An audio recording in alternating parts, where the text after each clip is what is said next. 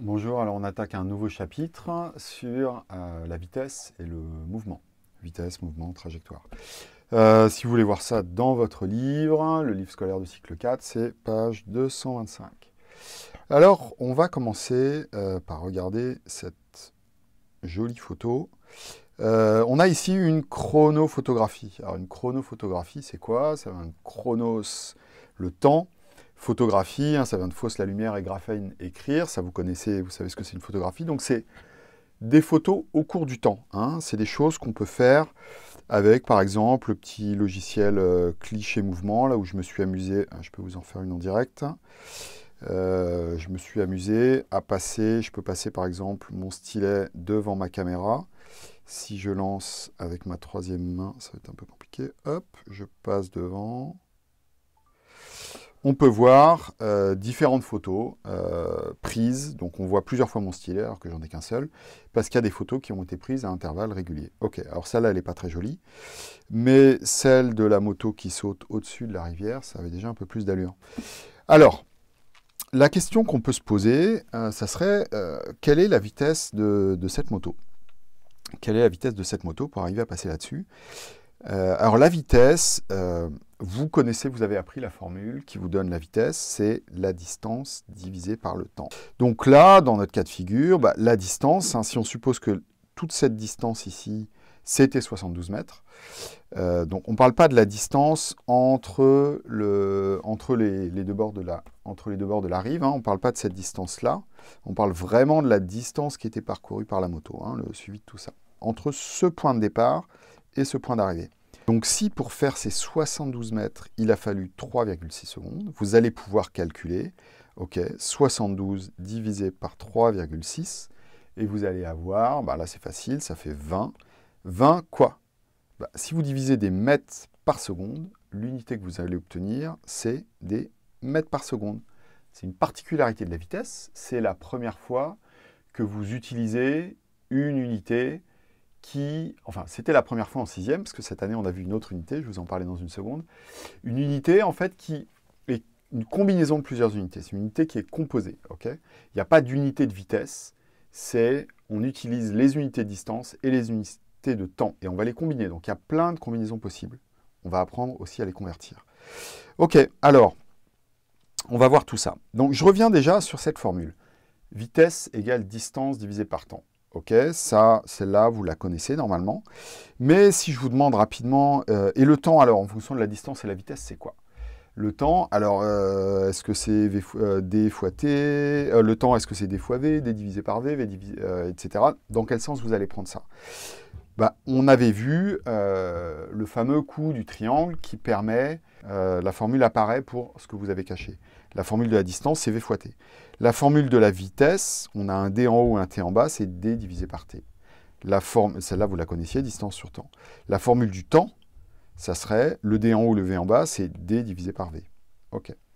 Et si vous ne vous souvenez plus comment faire ce triangle, parce que vous avez, par exemple, vous avez mis toutes toutes vos cellules mémoire pour retenir juste cette formule de V égale D sur T.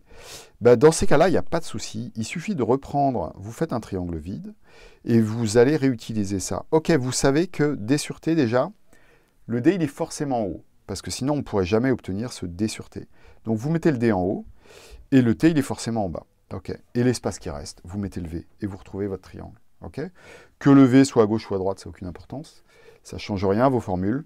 Euh, mais c'est une façon simple de retrouver le triangle. À partir du moment où vous avez une formule, vous avez le triangle. À partir du moment où vous avez le triangle, vous pouvez très facilement exprimer la vitesse en fonction de la distance du temps, la distance en fonction de la vitesse et du temps, le temps en fonction de la distance et de la vitesse.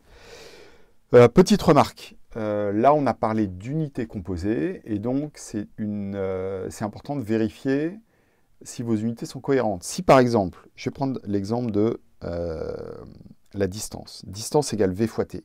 Admettons que vous avez écrit ça, mais vous n'êtes plus certain, vous n'avez pas, pas utilisé ça, vous avez un petit doute. Ben, une distance, c'est des mètres. L'unité, ce que j'ai mis entre crochets ici, c'est les unités. C'est des mètres. Une vitesse, c'est des mètres par seconde. Et du temps, c'est des secondes en l'occurrence. Euh, si vous multipliez des mètres par seconde fois des secondes, on voit bien que les secondes qui sont en haut, hein, mètres par seconde fois seconde. Vous allez pouvoir simplifier les secondes du haut et les secondes du bas. Il vous reste des mètres. Donc c'est bien, ça correspond bien à ce que vous aviez, à savoir une distance. Euh, c'est ce qu'on appelle avoir un résultat homogène. Ce que, vous avez à, euh, ce que vous avez à gauche et à droite de votre équation, c'est la même unité. C'est bien, euh, bien égal. Si vous avez des secondes qui sont égales à des inverses de secondes, par exemple, vous vous êtes trompé dans votre formule. Voilà. Alors, les unités de distance et les unités de temps. Hein, puisque si on parle d'unité de vitesse, ça veut dire qu'on a, on va pouvoir combiner unité de distance et unité de temps. Alors, il y en a plein. Il y en a plein. Euh, on pourrait parler un petit peu du système impérial. Je ne vais pas rentrer dans les détails.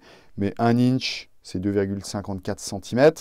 Et avec 12 inch, vous faites un, pied, one feet, qui fait donc 30,48 cm. Ok, donc c'est encore des nouvelles unités de distance.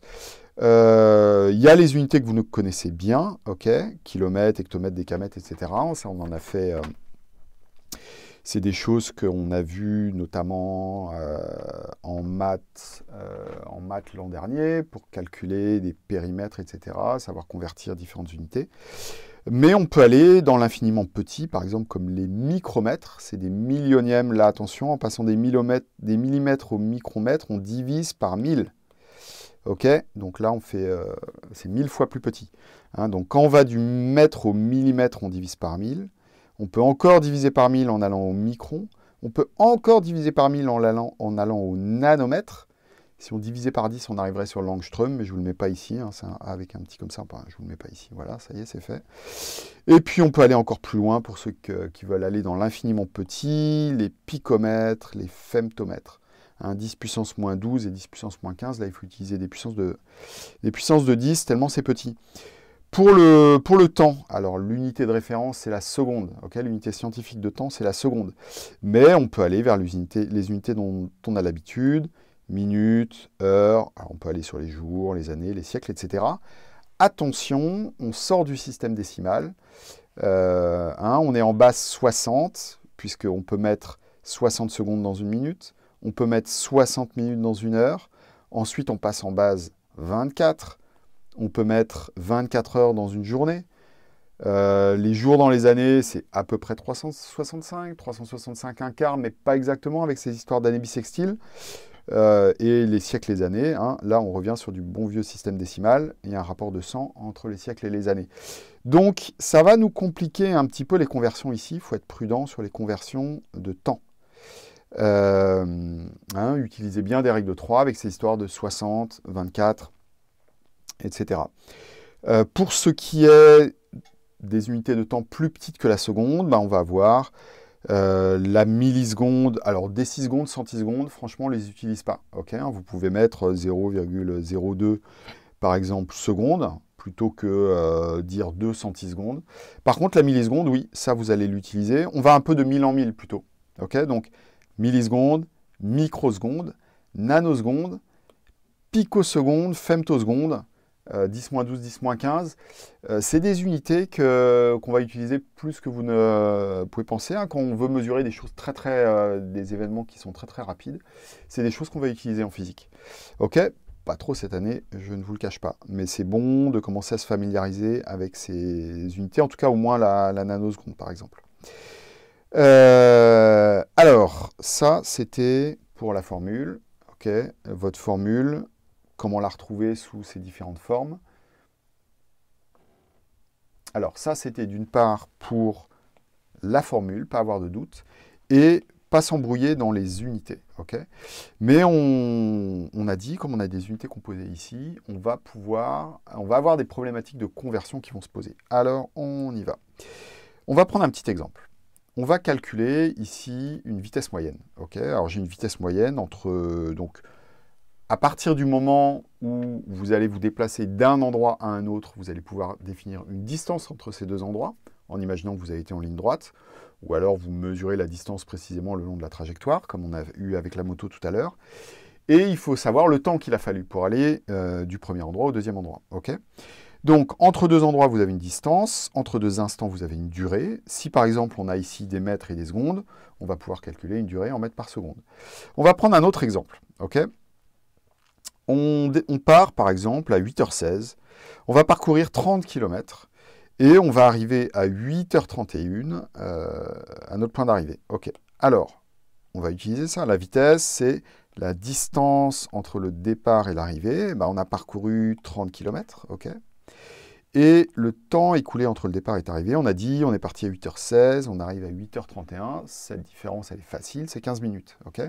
Méfiez-vous, quand on passe avec des heures qui sont différentes, à bien, euh, gérer vos heures et vos minutes. Ce n'est pas, une, soustraction habituelle. Euh, là, oui, il y a juste à soustraire 31 moins 16 et on obtient nos 15 minutes. Parce que les heures sont les mêmes, hein, c'est 8 heures, 8 heures. OK, 30 divisé par 15, ça c'est facile, ça fait 2, pas de souci. Quelle va être l'unité de cette vitesse qu'on a calculée? L'unité, bah, si on a divisé des kilomètres par des minutes, la vitesse, elle n'est pas en kilomètres heure, elle n'est pas en mètres par seconde, elle est en kilomètres par minute. ok? Vous divisez des kilomètres par minute, vous obtenez des kilomètres par, euh, vous divisez des kilomètres par des minutes, vous obtenez des kilomètres par minute. Mettons qu'on veuille obtenir ça dans des, unités un peu, plus, euh, un peu plus courantes, comme par exemple le kilomètre heure ou les mètres par seconde. Comment on va faire ça? Alors, on va réutiliser la méthode que je vous ai montrée sur les conversions de masse volumique, parce que la masse volumique, hein, la masse volumique, c'est une masse divisée par un volume. Euh, on était, il n'y a pas d'unité de masse volumique, comme je vous ai dit, c'est une unité composée qui utilise à la fois des unités de masse et des unités de volume, donc on avait les mêmes problématiques de conversion. La méthode, je vous la rappelle, c'est exactement le même principe. Vous prenez votre chiffre de départ, 2 km par minute. Et vous allez le réécrire sous la forme suivante. Si vous faites 2 km par minute, ça veut dire que vous parcourez 2 km en une minute. Donc vous dites, hein, vitesse égale distance divisée par temps. J'ai parcouru, je mets en haut de mon numérateur 2 mes kilomètres. Vous précisez bien euh, l'unité. Je m'aperçois qu'il manque un crochet. 2 km. Et ça vous a pris, en bas, vous mettez une minute pour parcourir ces 2 km. et on va aller vers l'unité que vous recherchez. Si vous cherchez des kilomètres heure, ok, hein, si ce que vous cherchez c'est des kilomètres heure, ici vous avez des kilomètres par minute, bah, nos kilomètres, on n'a pas besoin d'y toucher. C'est bon, il n'y a pas de problème, on les garde. Par contre, on ne veut pas des minutes, on veut des heures. Et eh bien, il va falloir exprimer une minute en heure. Une minute, ça fait combien d'heures? Bah, une minute, c'est le soixantième d'une heure. C'est 60 fois plus petit qu'une heure, vu que euh, dans une heure, il y a 60 minutes. Donc une minute, c'est un soixantième d'heure. Alors un soixantième, vous pouvez le calculer, ça va vous faire du 0,06, etc. donc vous pouvez avoir ça, et ensuite vous allez faire 2 divisé par 0, 2 divisé par 0,016, etc ça va vous faire 19,999, quelque chose, à peu près 20. Vous pouvez aussi utiliser euh, ce que vous avez appris en manipulant, des fractions. Diviser par un nombre, c'est multiplier par son inverse. Donc si vous voulez diviser par 1 soixantième, c'est la même chose. Hein. vous pouvez enlever ça et à la place mettre multiplier par l'inverse de 1 soixantième. C'est quoi l'inverse de 1 soixantième? L'inverse de 1 soixantième, c'est 60 unième. 60 divisé par 1, c'est 60. Donc finalement, l'inverse, 2 euh, divisé par 1 soixantième, c'est 2 fois 61e, c'est 2 fois 60, c'est 120. 120, c'est la valeur précise. Tout à l'heure, je vous ai dit 19,999, non, 119,999, etc. Euh, si vous aviez utilisé, euh, si vous aviez fait en deux étapes, 1 soixantième, divisé 2 par 1 soixantième. voilà, donc bref, 120 km/h, on a obtenu le résultat de notre calcul. On va faire une deuxième conversion. On va maintenant vouloir dire, OK, ces 2 km par minute, de la même manière, j'ai envie de les convertir en mètres par seconde. OK, allons-y. Vous utilisez le même principe. 2 km par minute, vous m'écrivez ça sous la forme d'une fraction. 2 km par minute, ça veut dire pour une minute. En une minute, je parcours 2 km et on veut aller sur des mètres par seconde. Donc il faut remplacer ces kilomètres par des mètres et remplacer ces minutes par des secondes. 2 km, ça fait combien de mètres? Alors, là, c'est facile. Si vous avez euh, des petits doutes, vous réutilisez votre bon vieux tableau de conversion, kilomètre, hectomètre, décamètre, mètre, hop, hop, hop, hop, hop. Je mets le chiffre des unités, c'est 2 dans la colonne correspondant à mon unité de mesure, donc c'est mon 2 ici. Euh, moi, après, je cherche, ce qui m'intéresse, c'est les mètres, donc il va falloir que j'aille compléter avec des zéros jusqu'à mes mètres, et je lis dans mon unité, donc maintenant je sais que mon unité elle est là, si mon unité elle est là, ce que je lis c'est 2000. Attention, ne me mettez jamais de virgule dans le tableau, ça vous embrouille. Ici il n'y en avait pas, mais euh, je vois souvent l'erreur. il faut penser la virgule, il ne faut pas l'écrire, parce que la virgule, elle n'est pas au même endroit selon l'unité à laquelle vous pensez. si vous pensez kilomètre, la virgule elle serait là, si vous pensez décamètre, elle est là, mètre, elle est là, etc. Donc on a dit, ok, 2 km c'est 2000 mètres pas de problème. Et notre minute alors? Notre minute, bah, une minute c'est 60 secondes. ok? Donc vous remplacez votre minute par 60 secondes. Il faut que ce que vous ayez ici soit égal à ce que vous ayez ici, que ce que vous ayez ici soit égal à ce que vous ayez ici. Et donc ces deux fractions sont égales, on n'a rien changé. On sait que ça sera bien égal à ça. Ok, ensuite, 2000 divisé par 60, vous faites tout simplement l'opération, ça vous fait 33,333, etc. Et des mètres divisés par des secondes, ben, c'est des mètres par seconde. 33,333 ou à peu près 33 mètres par seconde, la conversion est faite. Donc voilà comment convertir des vitesses de l'unité que vous voulez vers l'unité que vous voulez. Hein. Vous occupez du numérateur et du dénominateur séparément. C'est des conversions de distance, des conversions de durée, vous savez les faire. Euh, et, mais si vous avez bien cette méthode-là, il n'y aura pas de souci, c'est exactement comme on avait vu avec la masse volumique. Alors ensuite, euh, un, petit, un, petit exemple encore là-dessus. Et un petit mot sur la notion de vitesse instantanée. Hein. ça, vous y reviendrez un petit peu par la suite, mais quand on parle de vitesse instantanée, c'est pas, euh, voilà, imaginez par exemple, vous partez d'Ottawa, vous allez à Montréal, ben, il y a des moments où vous allez rouler à une certaine vitesse, des moments où vous allez rouler moins vite parce qu'il y a des embouteillages, etc. Ou parce que vous arrivez en ville, les limitations ne sont pas les mêmes.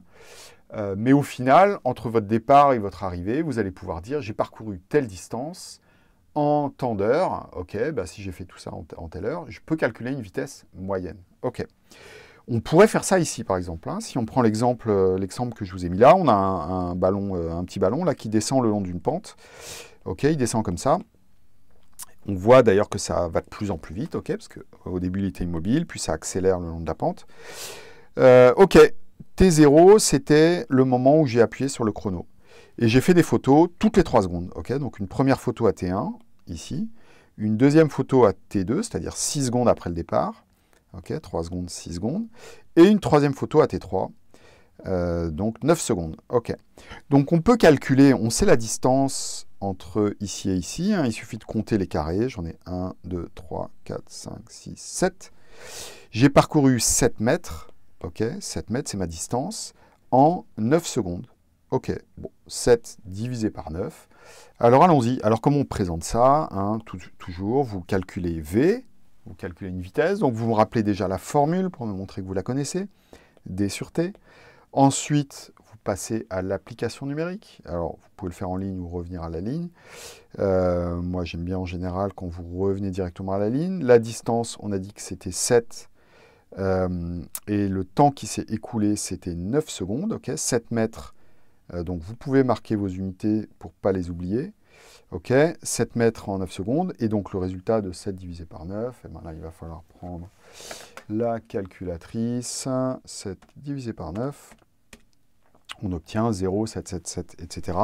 Donc on est à peu près sur du, pardon, on est à peu près sur du 0,8, n'oubliez pas l'unité mètre par seconde, euh, On est sur du 0,8 mètres par seconde.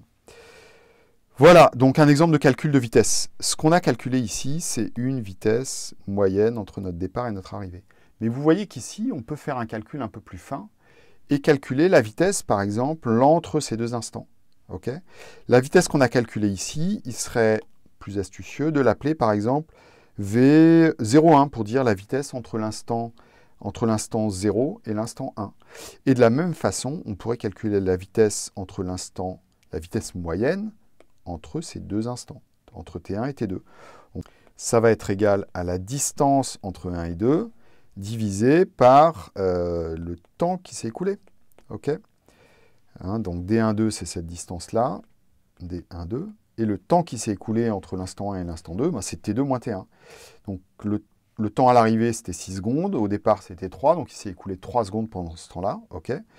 Il s'est écoulé 3 secondes. Euh, donc, en bas, on a nos 3 secondes. En haut, on a notre distance. Bah, ça fait 2 carrés. On a dit qu'un carré, ici, on voit que c'est 1 mètre. Donc, notre distance, c'est 2 mètres. 2 mètres en 3 secondes. OK On est sur du 0, 6, 6, 6, 7, etc. 2 tiers. Euh, voilà. Euh, donc, 0,667 mètres par seconde. OK Voilà pour euh, la, vitesse la vitesse moyenne entre ces deux instants. Mais on voit bien qu'on est sur une vitesse qui correspond à un instant un peu plus précis euh, que toute cette trajectoire-là. Donc on se rapproche de ce qu'on pourrait appeler une vitesse instantanée. La vitesse instantanée, dans l'absolu, ça serait, imaginez que vous ayez une, euh, photo, par exemple, toutes les... Alors tout à l'heure, je vous parlais d'unités euh, extrêmement fines, par exemple, toutes les femtosecondes.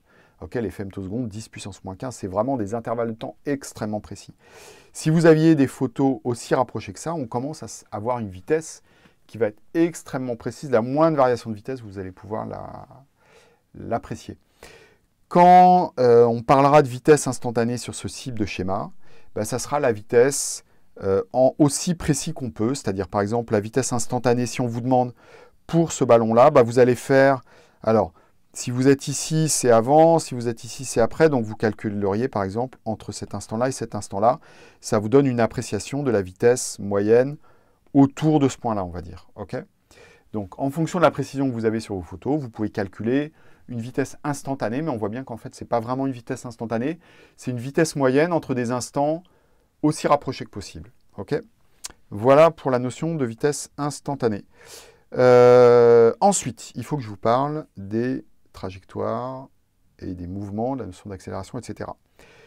La trajectoire, c'est la trace que vous laissiez, euh, que vous laisseriez, par exemple, euh, bah voilà, si quand j'ai mon chat qui part se balader dans la neige, hein, je peux suivre un peu sa, trajectoire. ça ressemble plutôt à quelque chose un peu comme ça. Là, il se balade.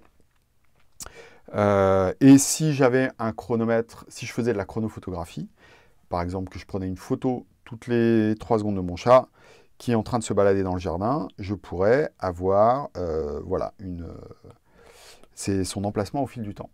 Alors, ça, c'est une trajectoire curviligne, ça fait des courbes. ok? On peut avoir aussi des trajectoires dites rectilignes, comme celle-ci. Donc une trajectoire rectiligne, c'est une droite, en gros. Euh, vous pouvez aussi, je n'ai pas marqué, mais avoir une trajectoire circulaire. Hein, si vous avez par exemple, une, euh, vous regardez une roue de vélo, vous faites tourner votre roue de vélo et que vous observez la position de la valve de la chambre à air, euh, la valve de la chambre à air va avoir un mouvement circulaire, ok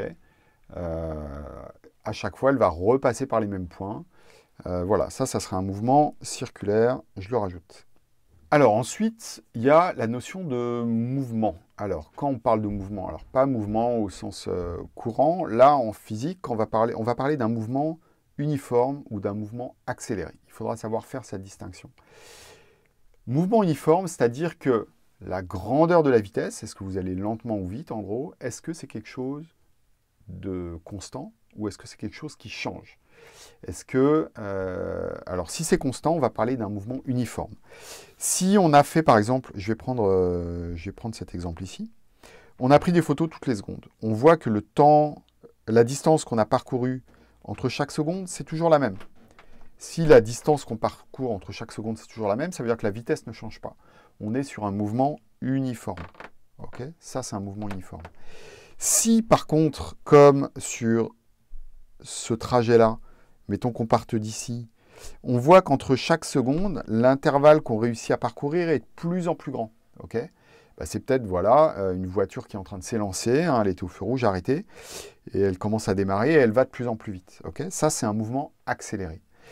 Alors si on regarde, attention, euh, au sens, parce que si au lieu de regarder ça dans ce sens-là, vous regardez ça dans l'autre sens, euh, qu'est-ce qui va se passer? Bah, Si ça, c'était votre départ, ça veut dire que là, déjà, vous étiez en train d'aller vite. En une seconde, vous avez parcouru tout ça. La seconde d'après, vous parcourez un peu moins. La seconde d'après, encore moins, encore moins, encore moins. Et vous finissez même par quasiment vous arrêter. Ok Donc là, on est en train de freiner. Mais on ne va pas dire un mouvement freiné, en fait. C'est l'idée d'une accélération négative. ok Dans le langage courant, vous parlez d'accélération quand on va de plus en plus vite. en physique, on va parler d'accélération à la fois quand vous allez de plus en plus vite ou de moins en moins vite. ok même d'ailleurs quand vous allez à la même vitesse, on pourrait parler d'accélération, mais on parlerait d'une accélération nulle.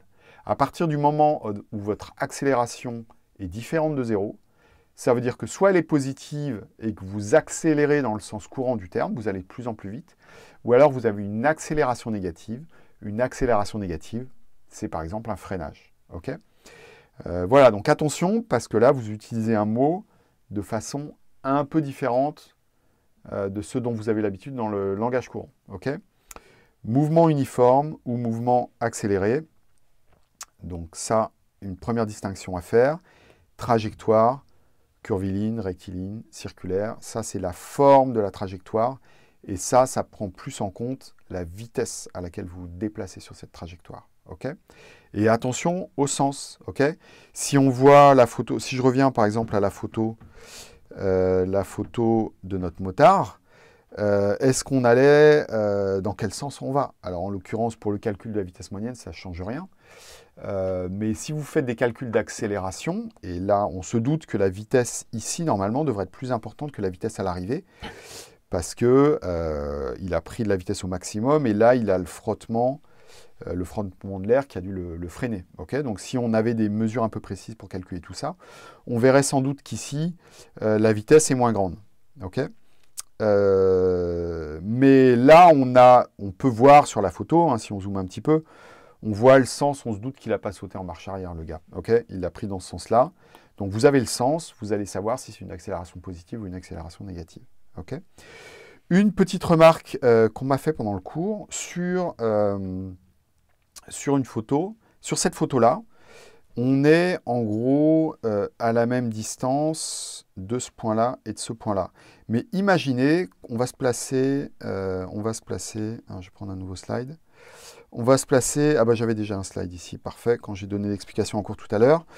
Euh, imaginez, ça c'est mon iPad, j'ai fait une chronophotographie de mon stylet qui passait devant l'iPad.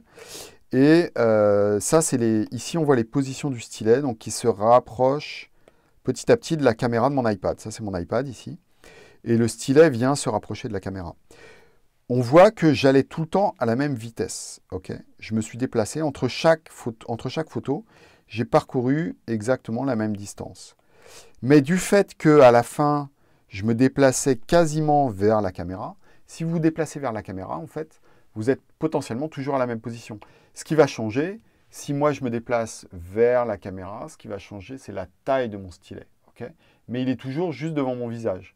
Alors que si je me déplace comme ça, vous allez pouvoir faire une chronophotographie qui va marcher. Si vous avez une photographie, une photochronographie, une chronophotographie, je vais y arriver, euh, pour laquelle votre stylet, à la fois il se déplace comme ça et en plus il est plus ou moins proche, c'est inexploitable. Donc il va falloir soit observer euh, par exemple, avoir quelque chose qui soit au-dessus de la table, comme ici, et faire une photo, euh, utiliser cliché mouvement, mon logiciel qui est parti par là-bas, pour faire, alors, être au-dessus,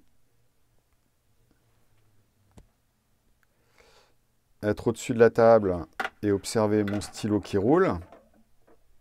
Ok, bon là c'est très moche, mais on voit bien que mon iPad était au-dessus de la table, il est toujours à la même distance, il n'y a pas de, a pas de souci avec ça. Euh, il a pas de, on ne va pas avoir de déformation liée au fait qu'on est plus ou moins prêt, etc. Euh, voilà, donc ça c'est un, autre point, euh, un autre point à avoir en tête. Voilà ce que je voulais vous dire aujourd'hui sur ces histoires de vitesse de mouvement, d'accélération, les unités, les conversions. Euh, voilà, et le, fameux triangle pour réussir à retrouver les différentes formules qui permettent d'exprimer soit la vitesse, soit la distance, soit le temps.